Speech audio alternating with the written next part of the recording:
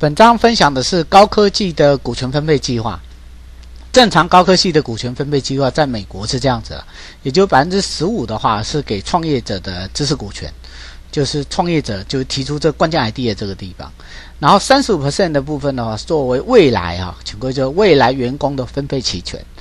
然后创投的部分呢，就这占五十，也就是基本上来讲，这五十五十的话是。技术股的五十跟资金股的五十，但这技术股的五十的部分有百分之三十五是给未来的，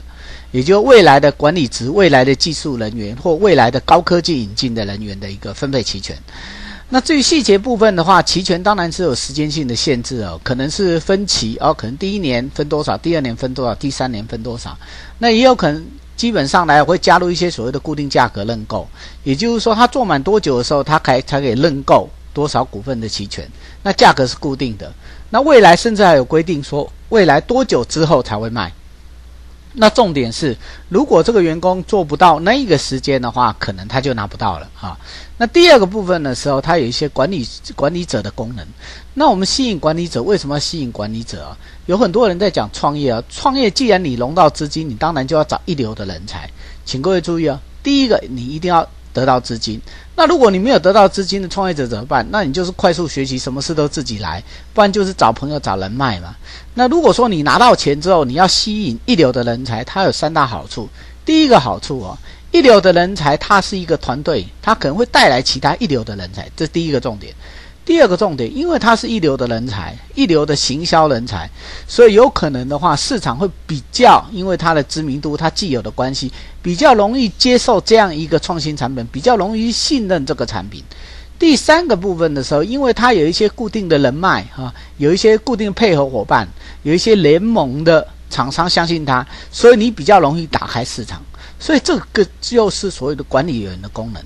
那再来，如果一些其他细节的，比方万一员工他他今天要买，他也符合这个条件，他没钱买怎么办？很多都是一些创投啊，就是天使投资人，他会借钱给员工买，因为这个东西的时候就是协助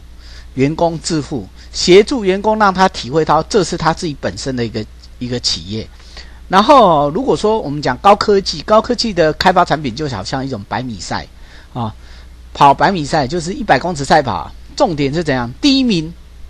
才有机会，也只有第一名才有好价格。科技的重点，那这些东西是戏骨的创业之神讲的哈。然后我只在听他演讲的时候，然后然后有一些心得跟各位分享。然后再来啊，针对泡沫怎么办呢？其实只要你有收入，你的收入大于它的成本呢，你基本上你就不会怕有泡沫，也不怕被淘汰。所以这个东西讲的就是高科技的股权分配计划。在后头的部分的时候，我们会提到一些员工的股权分配计划怎么给稀释，怎么给变更哈。然后它的从过去到现在的发展到底呈现什么样的形式？感谢各位收听，我是张明义，我是玩笑力的共同作者，谢谢。